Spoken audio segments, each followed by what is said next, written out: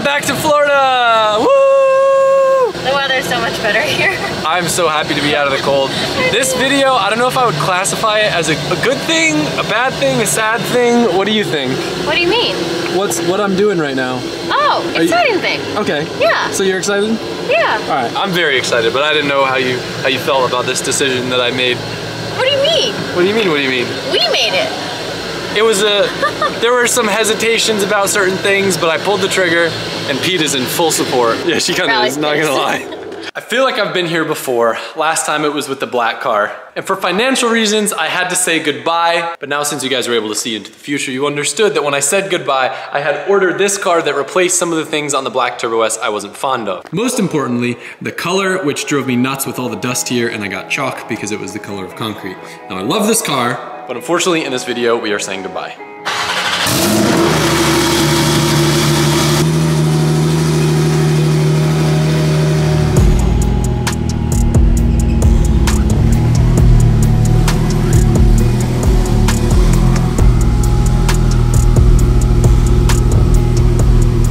You have an e-commerce business, you know that high shipping prices are the number one reason for abandoned carts. But the sponsor of today's video has a solution for you and it's called ShipStation. ShipStation's Fortune 500 discounts are gonna help you lower your shipping costs, make returns easy, and keep your customers happy. All the automation you can put into place with ShipStation for your shipping tasks is gonna save you a lot of time that you can use to grow your business and work on your brand instead of working in it. I know it sounds scary, and I can remember our first time switching e-commerce platforms. I was so nervous because it seems like a huge change, but I got a free trial for you. It's quick, it's easy, and I know the second that you try it, you're gonna be hooked. You're gonna get up to 84% off UPS and USPS rates, and if that's not enough, my free code is going to get you two months of ShipStation for free. Over 130,000 companies have grown their e-com platform with ShipStation, and 98% of the customers that use it end up being a customer for life, which is gonna be the case for you. All you gotta do to keep growing your business all year long with ShipStation is go to shipstation.com forward slash AdamLZ and sign up for your free 60 day trial. Shipstation.com forward slash AdamLZ. Really easy to remember. They've helped both LZMFG and Drift HQ tremendously, and I'm massive appreciative for them sponsoring this video and continuing to support the channel. Find out more information in the description box below. Look, this video is gonna be kind of uncovering some of the things with this car where I feel like I went wrong. One of which is the interior. I love the red, and honestly, it's probably one of my favorite things about this car. But the 18-way seats, even though on paper they should be more comfortable than the buckets that were in my GT3, for whatever reason, the bottom cushion is kind of hard, and me having chronic back pain, it made me not want to drive the car that much. I knew it with the previous car. I knew it with the previous car. I don't even know why I do this anymore. this whole YouTube thing's getting old.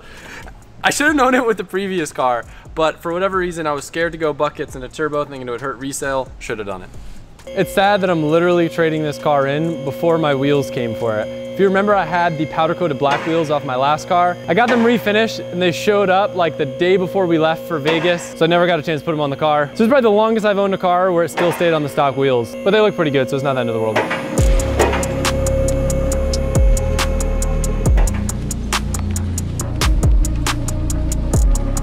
Like our other Porsche videos, the main thing we have to deinstall is the exhaust. It's actually the only mod that I've done in this car apart from lowering it, doing an M engineering tune. And is that it? It's kind of sad. That's actually it. That's really sad. I owned this car for about six months and I definitely didn't get to enjoy it as much as I would have liked. With that being said, we did have the flood, so it was trapped in my garage for like 20% of that time. Then we had the Invitational, then I was gone in Vegas. But a lot of my friends got to drive this, which makes me happy because it is really like one of the best cars that money can buy in my opinion. I think because I just already lived through it all before, it didn't leave that much left to be excited for.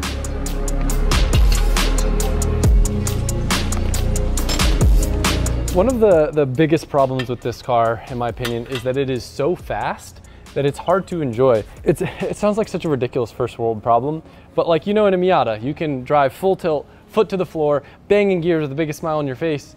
This car, you can like launch from a stoplight and in the matter of two seconds, you're going over the speed limit.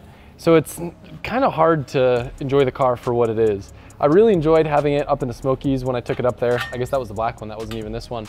But for all intents and purposes, it's weird to say that in Florida where we have the most highways and straight line roads, I enjoy the slower cars because I can drive them faster because we don't have corners. It doesn't really make sense, but it makes sense to me, I promise.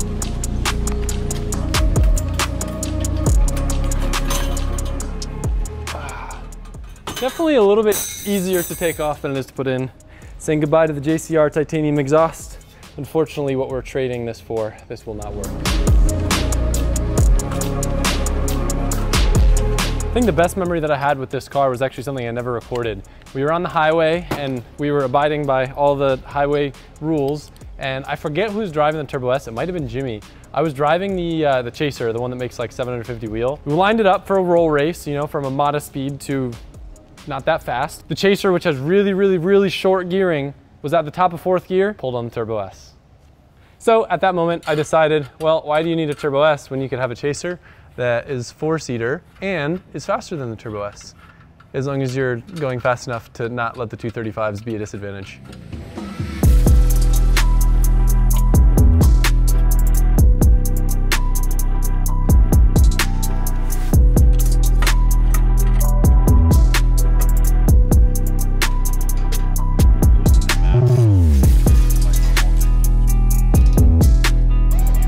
John's back. We're working on the Porsche. I'm back. Actually, I, actually, I'm back. you know what I meant. So we gotta we gotta rotate it in. I think. Hmm. Oh yeah. Let's rotate these down all the way. Yeah, I think. I don't know.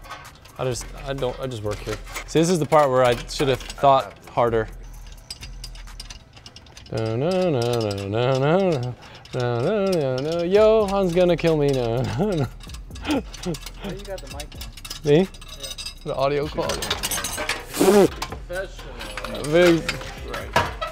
Adam, remember you have to narrate everyone. Yeah, no one can hear you because I'm the one with the mic. Stop. That was loud, right? Yeah, Sean can say all the rude remarks he wants. No one will hear him. Yeah, big shout out to Butters. I wish you were here, Butters. We we used a mic, mic for you. It's not taped to my chest, but no, it's, No, it's not South Park. Park? No, Oh, damn. he wishes. No, dude. If you don't pick that up, he's gonna hit you in the head. I'm not kidding. Why is he jumping up and down? My arms hurt. Yeah. His arms hurt. Right? Yeah, so I think I was supposed to put this clamp on here first. I think that's where I messed up. Yep, yeah, we're good on the filming, Mike. You gotta make it a quick montage of stuff just falling. This is how you know I didn't own a car long. It literally still has the tag from the dealer on it.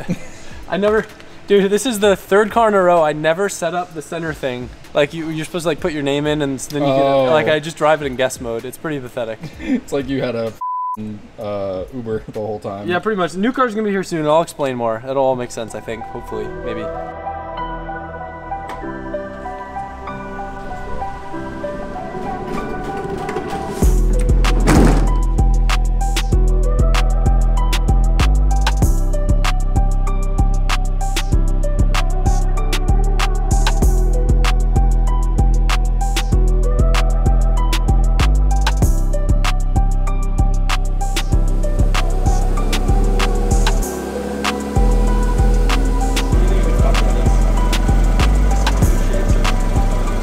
First impressions, the uh, the houndstooth feels weird on my bottom. It's got it's like I got grip tape underneath me. That and I realized the thing isn't even broken in yet. These things break in at like 900 something miles. It's got 544. The Touring also has all this cool uh, like textured leather on the dash here and here. I'll have to get some better shots of the interior, but definitely a vibe in here. Zach from Porsche of Naples is here again, doing guys. another car swap. Thank you for coming out here. I really wanted to come visit the dealer, but short on time. No biggie. So the question is, I know the the orange car dropped it off. It sold in a day. Yeah. The black car, how long did that take to sell? Probably about the same. What do you think about this one? A couple days. Yeah, Yeah. She's It'll pretty- gone fast. she's pretty perfect. So Yeah. whoever whoever gets her is gonna be a happy person. I'm gonna miss it, but I think I missed the GT3 more, and I'm really excited to uh, jump into the touring. There you have it, the new GT3 touring. John, I know you didn't like it at first. What do you think now? Still don't looks like it? way better in person. It needs the wing. yeah. The wing is. It needs the wing. Booth, what do you think? I like the other one better. Yeah. Which one, the purple one or the the chocolate one? Oh, purple. Yeah. yeah. Well, the purple one's dead to us, so Yeah. we don't we don't. Stick shift. Yeah, yeah, I got the I got the stick. The slump butt definitely not my favorite thing, but I got a couple ideas on how we can fix that. Yeah, you got ideas? You know how that there's that plane that has like the Mod the, the droop snoop plane? It's like that, but it's a it's a slump butt. Stop looking at it. Literally Damn, one Adam. one minute into owning the car and I put a chip in it. I'm such an idiot. It's gonna cost you. Yep. This is what I'm excited for. Butt pads? Actually, I thought it would be the Alcantara. No, they're not on the tour. Oh no. I was just gonna cover the plaid. Yeah, I don't want the plaid. The plaid's got to go. The houndstooth. So, this is what this will look like. Yeah, I think that's better. Yep, Way better. All right, I'll do that later. Pete, I have acquired an interior that matches your coat. What do you think, sir? Oh, he's out. What do you think, Colette? Do you like it? I love my new car. Yeah. It's so nice. Yeah. But I know you already got new seat inserts. Yeah, yeah. You knew the first thing. The houndstooth got to go. Yeah. Yep. Yeah, yeah. The Dodge liked it. He was sniffing it for a while. I already put a big nick in it. I heard. Yeah. Yeah. You know me. I heard. Not surprised. Can't resist the urge to snip. Must snip. This is how I know this car's never been tracked. Other than the fact that it hasn't hit braking, you can see the sidewall's never even been used. You can still read there's like a little Michelin serial number here. Where like all my cars, I usually roll over the sidewall, so it's all crumbled like as far down as here. Hey Pete, does it look like the exhaust has been modified? Is it look stock under there? He's checking it out. How he starts taking a dump under there? How'd it look under there? Pretty good? Yeah, alright. What a weird place to sniff. Under there. He's like, yep, it's still got cats. Pete doesn't like cats. No. He doesn't like them. All right, before I dive too much into the new Touring, I wanna give you a little bit of backstory. You guys know I've now owned two turbos and I had the GT3. And I will say the GT3 I really didn't fall in love with until that last trip in the Smokies. I feel like once I had it tuned, I had the exhaust in it and I had it lowered, it really felt special. Because when it was stock height, it just wasn't doing it for me aesthetically. And before it was tuned, it was just kind of lacking that power down low. But the M Engineering tune waked it up a lot. Fell in love with the car, and then you guys, of course, know what happened. And I'll be honest, like, even though obviously we were plenty okay, it could have been a fatal accident, and it's kind of scarred me a little bit. And I told myself that I probably would never own another GT3. Even driving my buddy Sean's GT3 after the accident, the interior still feels so similar. It just reminded me way too much of the accident, and I didn't want that again. And I wasn't really considering getting a GT3, but Porsche of Naples hit me up about a Touring, which I never even thought about considering getting, but where I was feeling with the Turbo S and kind of uh, not enjoying it to the fullest because it was literally too fast, and really missing the front end on these GT3s, they switched over to uh, double wishbone in the front from the McPherson. The Turbo still had the McPherson, and a lot of the roads here are, aren't the greatest, and the McPherson on the Turbo S pulls all over the place, where the double wishbone feels smooth as butter, which is weird, right? Because my GT3 actually felt more like a proper, smooth, comfortable touring car for me than the Turbo. The biggest thing though for me, back pain, which is right now honestly worse than ever after the long shoot in Vegas. The buckets, for whatever reason, distribute my load better. So less weight is on the pressure points, so I can go on a longer drive and feel comfortable. More than anything, of course, you guys know, I've always been a GT3 guy. I've had my RS, I had the purple one, now, even though it may not be that obviously a GT3 to those of you that don't know, it's basically identical to a GT3, both out the wing, and the interior has a bit more leather. Got a leather steering wheel, some leather accents around the dash, and then this is actually like exclusive manufacturer interior, which although I probably would prefer black, I feel like the uh, the tan kind of sets the car apart. It's a cool contrast with the Meissen blue, which is a paint sample color. You know me, I'm a big paint sample guy just because I don't want the same car as everyone else. Um, but again, it won't feel like the same car that I had before. I feel like the uh, the thing, the elephant in the room that you guys are all probably wondering, why isn't Adam getting the new GT3 RS? I've said it before in videos, I do have one on order, but I actually found out that it is going to be a pretty late delivery. Could be as late as early next year, and already feeling how I was feeling with the Turbo S, I figured moving into this would not only potentially be a better investment from a resale perspective, I think it will hold its value better than the Turbo S. It's also the car that I think will bring more smiles and make me happier than having the Turbo S for another year when I'm already feeling how I felt about it. Unlike some of the older Tourings, these cars actually do share the exact same suspension, and this one actually has front axle lift, unlike my other car. So I can dump it, still be able to raise the front end up. Um, aesthetically though, you might notice the front bumper is painted. I hated the black on the GT3 at first, then it grew on me. But the Touring, I think is kind of cool. It's got a little bit different look. The all blue mirrors though, I think gotta go. So I got the carbon caps off my other car, I think I'm gonna slap on. It's got the black LEDs on it. Silver wheels are cool with the carbon ceramics silver uh, side markers. The front clip is PPF'd on the car, which I'm stoked about. The rest of the car is not. I don't know if I'll necessarily do it, but looking at this car, it is going to need a paint correction. So I might go visit uh, good old Matt over at Obsessed Garage and dial it in with him. It's always so hard to capture on camera, but There are quite a few swirls. They don't look too deep. It just looks like someone probably dry wiped the car at some point. So there are a few little surface scratches that will polish out no problem. Not sure how I feel about the uh, the side sticker. Some of the Tourings have like a, a chrome uh, window trim that I think might have tied in well with the silver. But the black isn't bad, and I think once I maybe change wheels and add some other accents, it'll darken the car up. The biggest thing on the Touring that I don't like, the lack of wing is cool. I think wingless GT3s are sick, but they have like a little bit of a factory duck bill built in instead of the, uh, the slump butt. So I'm gonna see if I can find a GT3 rear deck lid to put on it.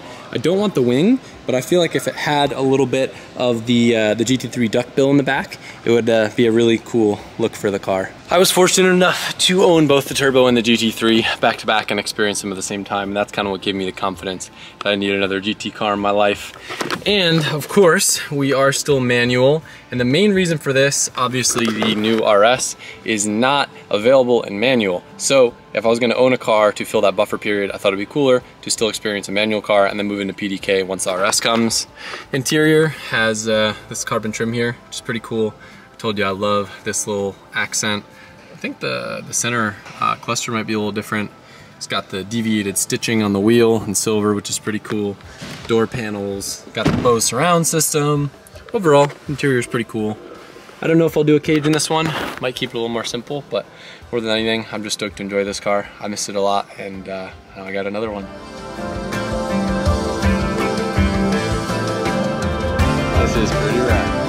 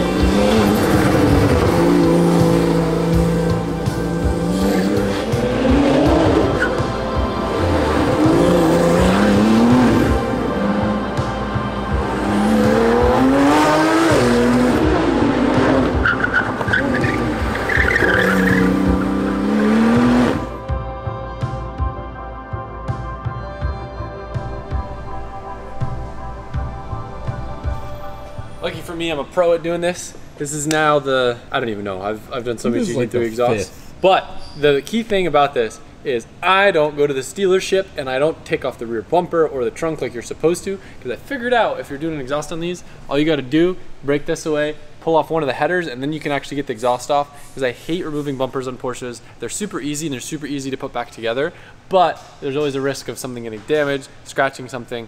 Also forgot to mention, of course, haven't even driven the car, got to put the exhaust on. Got the Dundon from the uh, the GT3 they got in the accident. Shout out Advanced Collision for sending it my way after you did the old Inspector Rooney. And now I get to have this thing purr. Are you, it looks like the old uh, dentist that owned this thing before me. I wasn't that used to driving low cars. I tell you what. Uh, I'll definitely do that once the car gets lowered more. But the cool thing about GT3s, they treat the lips as consumables, so they're super inexpensive to buy. Like you would think, oh, GT3, big money car, Porsche Porsche's gonna charge you thousands of dollars for a lip. On the previous gen car, it was like a few hundred bucks. Then you just get a new one and put it on, and then let the dentist scrape away. You know what's funny? You guys are probably pros at taking on and putting off Porsche exhaust because you've seen me do it so many times. It's really easy. It's one. Of, it's really fun too. Even if you're a GT3 guy and it sounds a little daunting, trust me. If I could do it, you could do it too. Great clip. Good clip. Rocks. Yeah, the dentist lived in a gravel parking lot. You know there's a door what? to the outside right there. Yeah, the, but the Swiss tracks, you don't see what's underneath them. So. now the ECU are done. The FSM can kiss my. The cat is burning my hand. Ow. Good thing I got my Griot's Garage gloves on that are made for detailing and not working on hot cats. also, fun fact, we keep cats on this car. So, just so you know, I just upgrade to the race cats. These cats are slow cats. Just so we remember, write down in your phone, we have blue in front and then we got the black in back. Remember, black in back, Michael, black in back.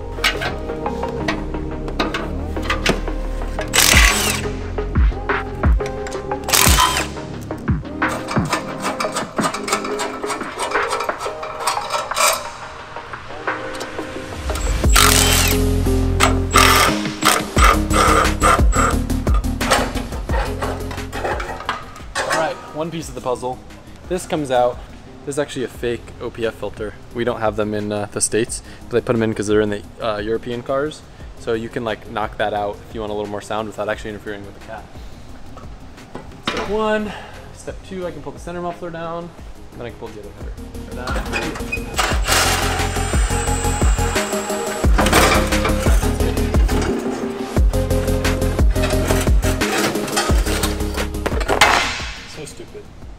Obviously the Dundon setup sounds like insanely better, but one of the things that I feel like I don't touch on enough, there's so much weight savings, it's kind of ridiculous. This header weighs like practically nothing compared to what we just took off.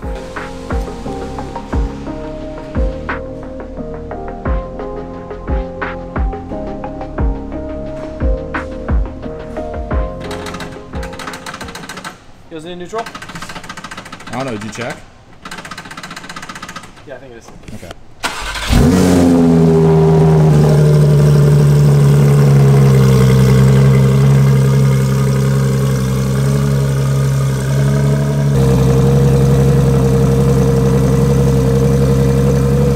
What I just did is pretty sacrilegious. The Touring is supposed to be the embodiment of class and understated power and this like package that isn't loud with the big wing and stuff. And I went and put a loud exhaust on it. Because guess what? It's my car. And I like to hear the beautiful sounds of 9,000 RPM out of my Porsche Boxer motor.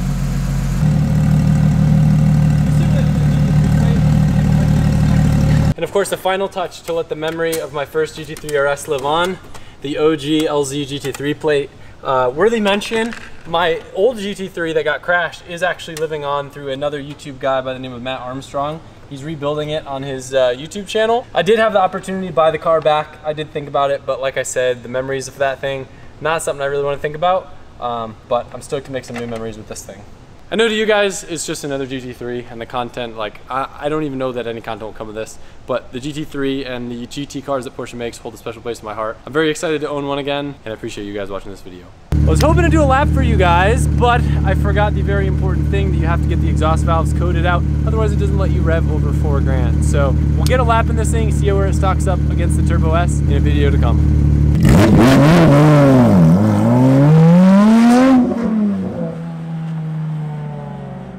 I have acquired an interior that matches your coat.